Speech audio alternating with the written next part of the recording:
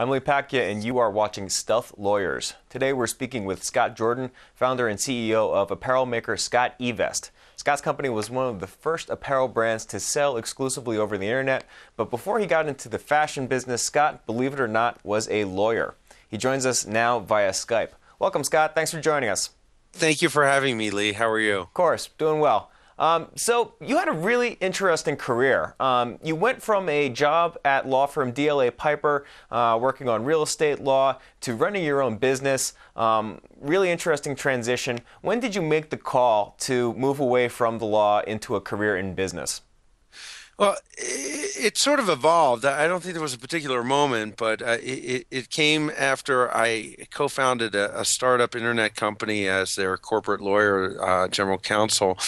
It was uh, in 1999 as the internet bubble was uh, just bubbling up, and uh, I, I, realized then that there was a, an opportunity for this business, and uh, just rather than going back to practice law after, you know, the internet company was not doing so well as others, and I decided to give it a try, and that was uh, that was about 10, 11 years ago. Mm. So we're really talking about two specific transitions here. Uh, you first made the decision to leave working inside a law firm and get out of the law firm space, but then you were also working as a GC at an internet startup that ultimately didn't succeed.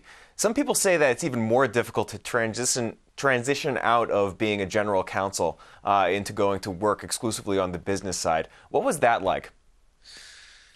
Uh, you know, yeah, I think that the problem is, is once you're, you're, a lawyer, people think of you as a lawyer, and it's very hard to transition, you know, at all. I, I had thought that by going from being in, eh, you know, at a law firm uh, as a senior associate at the time, that if I were to go in house as an associate general counsel or general counsel, that's one step closer to the business side, which is something I always had wanted to be.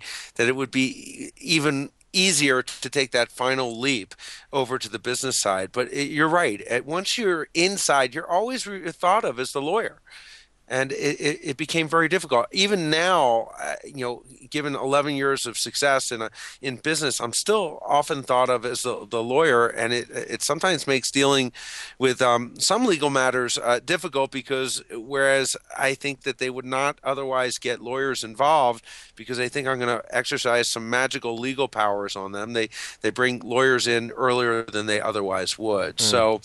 I don't know if, if that fully answered your question or it's a tough label to shake. You know, I talk to people who left the accounting profession, uh, for example, and people don't tend to think of them as accountants only, first and foremost.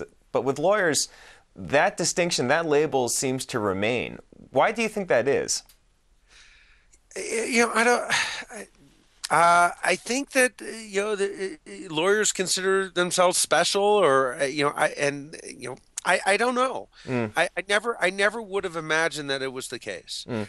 Uh, uh, go ahead. I just I, I always felt that you know, lo, you know when I was thinking about going to law school, it's always a great background to go into business. My my, my advice to someone, if you want to go into business, you know, I don't think you know going through three years of law school and practicing law is going to get you there faster. Having said that, you know, the legal background that I've had has uh, helped me immensely in my business and saved me a, a great deal of money and uh, gave me a lot of insights into, you know, litigation and matters that uh, I, I wouldn't otherwise have without it. So it's hard to, to balance on whole whether it was uh, effectively a good decision looking back or not. Yeah. Prior to starting your own company, did you feel you ever were able to shake off the, the, the, the label of being just a lawyer? Or was well, that when you start your own company, company? That you can, that's the only way you can. Yeah. So yeah, I was completely able to do so. Uh, having started my own company, you know, it didn't matter necessarily, you know, to my employees or my vendors. I mean, it, it only mattered in my experience with some contentious matters that I had that ultimately ended up in litigation. But otherwise, you know, it it, it, it didn't it, it didn't matter at all, and and helped me. Mm. And of course, you ended up in, in the fashion business of all things, not necessarily an easy space to make money in. Uh, why fashion? And uh, it seems to me it's the polar opposite from, from working in the law, or is that not true? Did you see some, uh, some synergies between the two? I had no expectation of being in the fashion business. I, I came up with this idea of patenting, you know, in, incorporating wires in clothing mm-hmm. and licensing it under the brand name Technology Enabled Clothing. And I hope to just clip a bunch of coupons and make billions of dollars with this great idea and not have to sell a single piece of clothing. Lo and behold, I, I learned very quickly uh, that patents take many years to go through the process and that most apparel makers have no respect whatsoever for intellectual property. So without giving them a proof of concept showing other apparel makers, you know, how technology-enabled clothing as an ingredient brand can help their brands.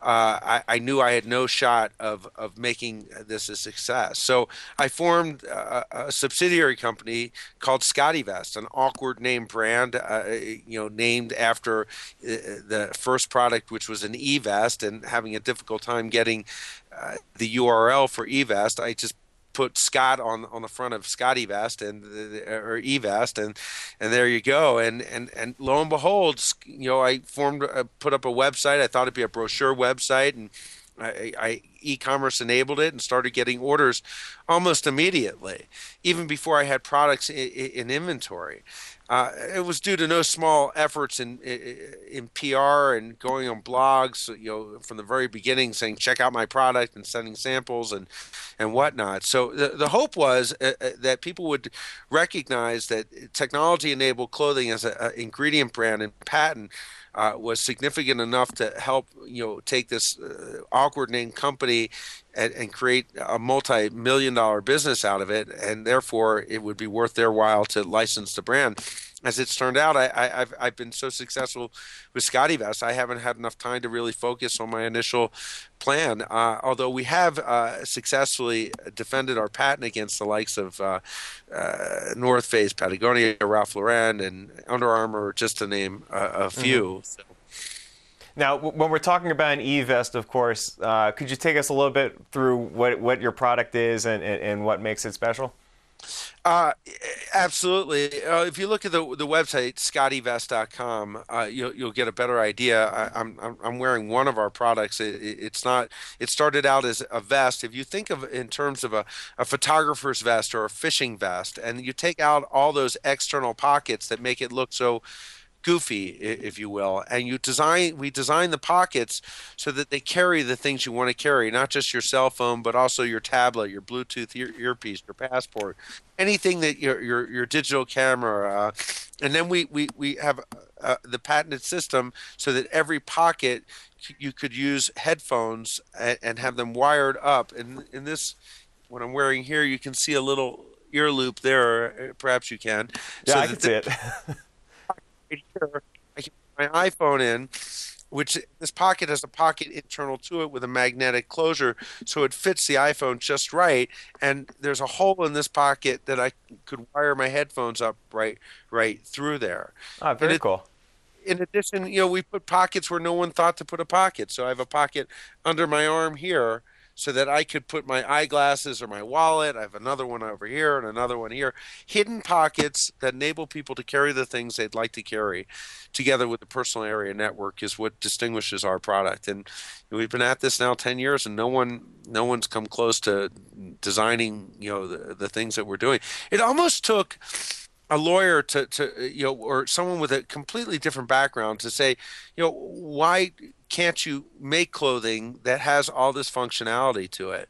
You know, I, I often kid that you know for for thousands of years, you know, clothing's you know you know two and a half things. One is protected you from the elements. Mm-hmm. You know that was the first thing the caveman decided that they needed. You know something to keep them warm. And then they said, well, if I'm going to wear it, I might as well be fashionable. So that's the second thing. And the half is, oh, let's slap a pocket here or there no one's really thought about what you're putting in that pocket. How easy is it to to get things out and, and the like? And that's what that's what we do. We we know more about pockets than anyone else. Mm. So it, it sounds as you're talking about uh, your product and, and uh, the, the specific characteristics uh, related to it. Uh, I almost would hazard a guess to say that it was very helpful uh, for you to have a background in law going into um, a business that has products that sound rather patent intensive. Would you agree with that? Uh, absolutely, uh, absolutely. Uh, you know, uh, you know, it really helped knowing, you know, a little bit about patent law. Although, you know, as a real estate uh, corporate lawyer, you know, you think you know something about patents, you have no idea that. I, I it's really hard to read my own patent. I hmm mean, they're convoluted. I might as well be reading Greek. So I knew enough when I wasn't getting adequate representation to get a different lawyer. I've happened to have gone through a series of, of, of, of lawyers. Uh, I have very high expectations of lawyers. I, I was a, a damn good lawyer when I was working at DLA Piper, you know, which at that time was called Rudnick and Wolfe and ultimately merged in. Uh, and uh, you know the managing partner is now the man- co-managing partner of DLA Piper, a friend of mine, Lee Miller. Um, so uh, you, know, it was helpful to have that background, but I, I've learned a great deal since then, and I, I've learned a lot about you know with lawyers uh, on the client side as well. Mm. So for the um, for the senior associates out there who are thinking about making a similar jump, uh, going out and starting their own successful business, uh, what advice would you have for them, Scott Jordan? do do it now. Do it a day sooner because you know uh, you're just going to be a year older when you decide to do it. Uh, you know, I, I, I wish I had done it sooner. No, it's not easy, but it, it will be gratifying in the long term. I, one one of the things I like best is I hated filling out timesheets. It, it, you know, at the end of every day, you, you you had to you know account for every hour of your day and minute of your day. So it's experience, but you know, it, it, it th- think it through because you know there's a lot more to it than you can imagine. So, all right, Scott Jordan, CEO and founder of SCOTTeVEST. Thank you for your time today, sir. It was my pleasure. I enjoyed it. If you'd like to learn more about the issues we just discussed, be sure to check out our offerings on BloombergLaw.com and also on the Bloomberg Terminal. You can see more of our videos on YouTube and you can follow our updates on Twitter. I'm Lee Pacchia. Thanks for watching.